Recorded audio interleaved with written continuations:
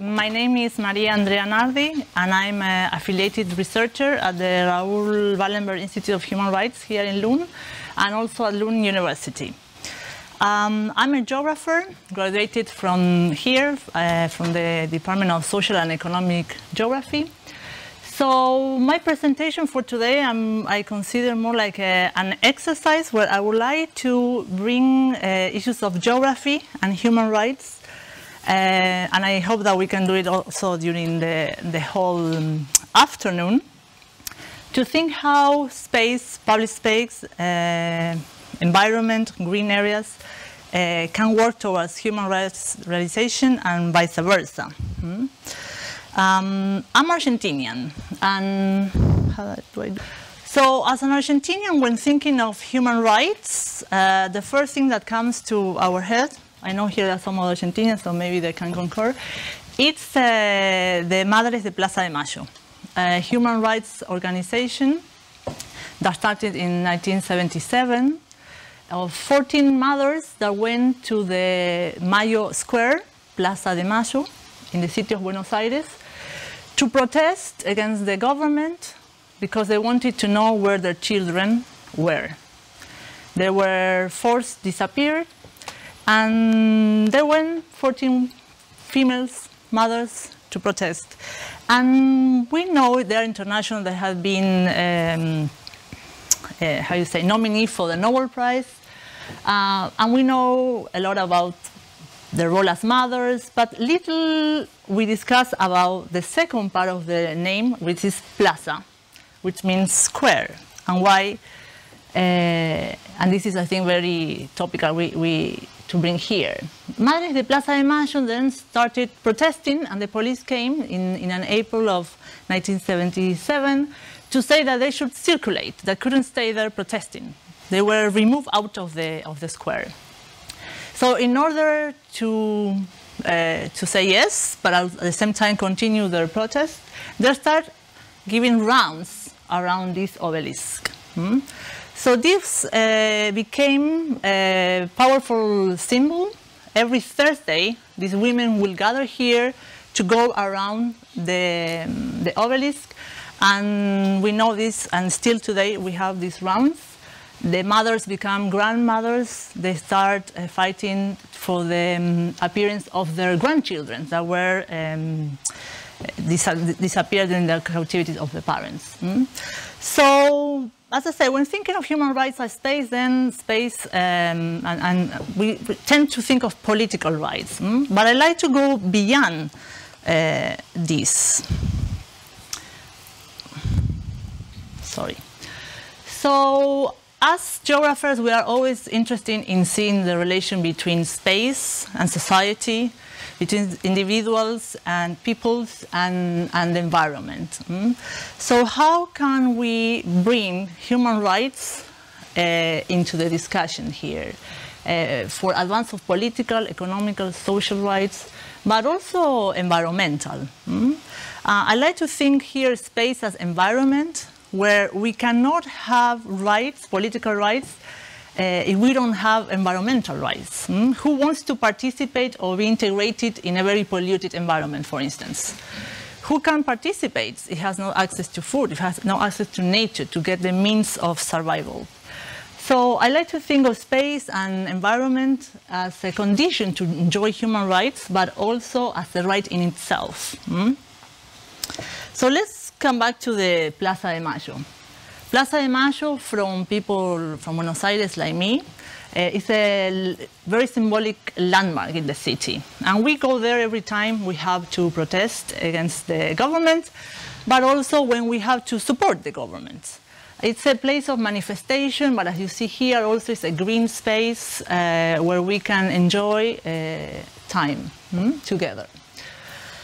Um, Plaza de Mayo, as many other Hispano-American uh, squares, has been structuring the urban life in the, in the Spanish colonies. Hmm?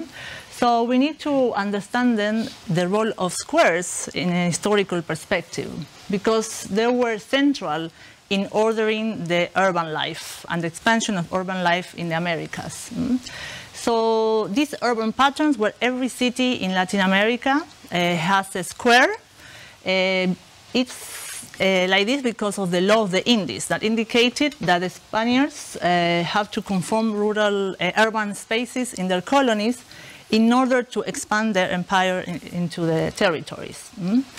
Uh, so also it was the place where modernization colonialism and capitalism later was expanding into the Americas. So I think this is very important to, to take into consideration, the histories of squares, of, of uh, plazas in the Americas, because these functions change uh, historically, because we need also to think in context, right? From our colleagues in Zimbabwe, the squares, the plazas might mean something else, because you don't have these patterns, urban patterns, that we have in, in, in, Latin America. It was, uh, as I say, a landmark. Uh, here the Spaniards located their um, main buildings, public buildings, the powers. We have the cabildo or the um, governor's house, and we have the religious power, the uh, church. Mm?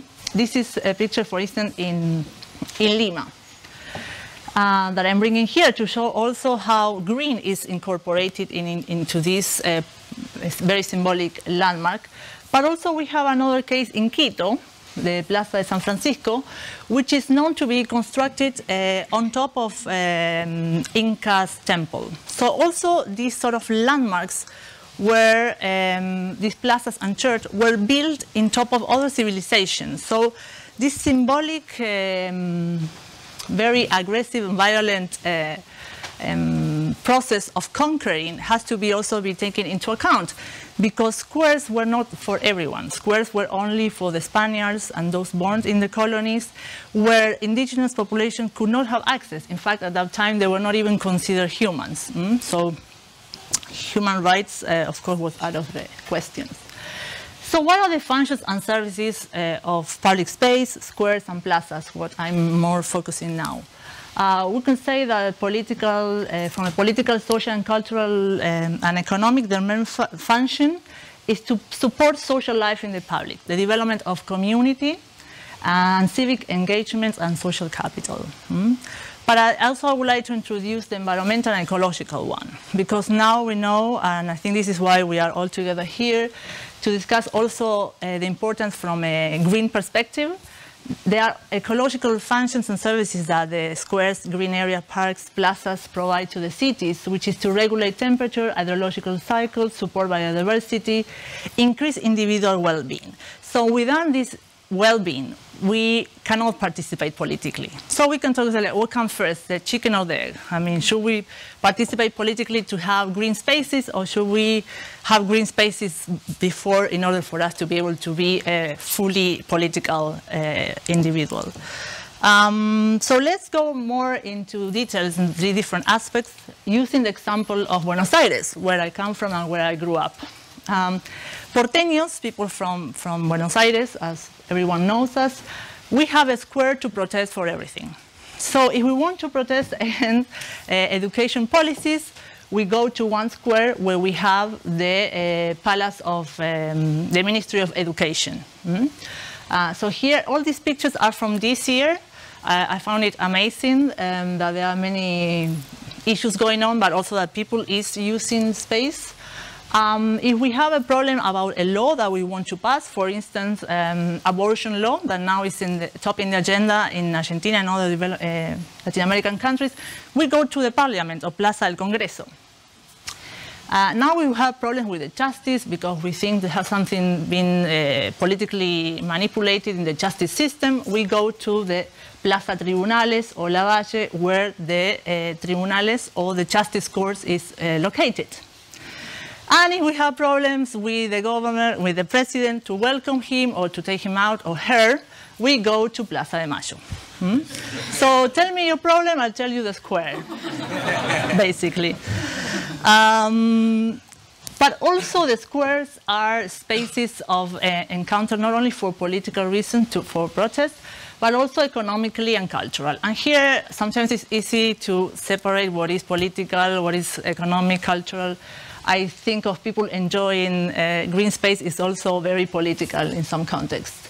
But I want to show here also that uh, in different cities uh, around uh, Latin America, there has been a claim for public space to um, express different cultural um, yeah, processes. Like, for instance, selling um, handicrafts, selling uh, local food, urban agriculture and peri-urban agriculture.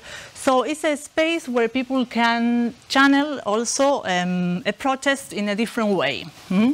Uh, here, uh, squares are being used uh, as a place where markets are located, and it can be itinerary or it can be every day. So there are different ways. Uh, for instance, I found this uh, Feria del Artesano called Pachamama, which means uh, Mother Nature, and it's a strong um, claim of different communities to think of nature in a different way right? So against plastic, against uh, modern life, we have different um, art to show that we can produce and consume different. Mm. And then um, ecological, environmentally, which is uh, as equal as important, green spaces uh, provide ecosystem services. So we can think also of these green spaces in different scales in the city, but also in a square as um, providers of biodiversity, well, I mean, and also this can be tricky from a health point of view, but um, they um, regulate temperature. Mm? They provide carbon sequestration, but also uh, production of oxygen. They reduce pollution and regulate noise, which is very important. And of course, water infiltration. In Buenos Aires City, uh, which has very little percentage of green areas, this has been proven key because we have important problems of flood, floodings. And of course, this saves energy, um, helps the quality of air, and decrease floods. Mm. But uh, if you want details on the ecological, I think I will leave this to my colleagues in the Center of Ecology, but they are experts in this. So if we think in them from a planning perspective, how uh, we should plan human rights cities, then we should first think of the cities in the historical and geographical context. As I say, in Latin America, the city were the entrance for the colonial empire to export, first to enter into rural areas and then to shift to the metropolis. But this might not be the case in other regions of the world. Uh, we need to understand this multicultural history, these sort of different uh, levels of history and meanings attached to public space. Um, different public space and uh, change according to the different also values that people give. Um, for instance, in the colonial times, the squares were for the aristocrats. And then this, during the independence, it changed, and it was the bourgeoisie that took over the squares. Um, we need to understand then these cultural and ecological functions. And if we want an inclusive uh, society and cities, we have to create multifunctional space that also uh, takes into consideration this physical infrastructure to facilitate inclusion and participation. And this we've been discussing a lot in, in the groups. And we need to scale up. I mean, it's good to understand how squares work, but we need to have a network of squares. Mm -hmm. So this is also from a geographical perspective very important. So if I have a little more time, I'd like to bring quickly, okay. Uh, if this is so important, then what are we doing to generate public space? Uh, so I was, um, yeah, trying to find out what is happening in, in, in Latin America. And I, I, see that there are huge urban uh, projects taking uh, place when, when different sort of financing mm, and also different levels of community engagements. People is participating more or less and uh, creating more inclusive and accessible public space. So the, I will quickly say the examples. Uh, in the 90s, um, we have these very large-scale um, urban projects. Uh, the water restoration probably are um, a good example uh, financed by the World Bank or the International Development Bank. And in Argentina, we have two different cases, Puerto Madero in the city of Buenos Aires and Puerto Rosario in, uh, in, in, another province on, on a river. And what I want to say here is that people have been um, uh, participating in different ways in these different projects. And the result we see in Puerto Madero, very elitist and only um, for the upper class. Uh, whereas in Rosario, uh, the green spaces has been maintained and also different cultural facilities where everyone in the city can access. Uh, this is very different from Puerto Madero, where only tourists and, and rich uh, people.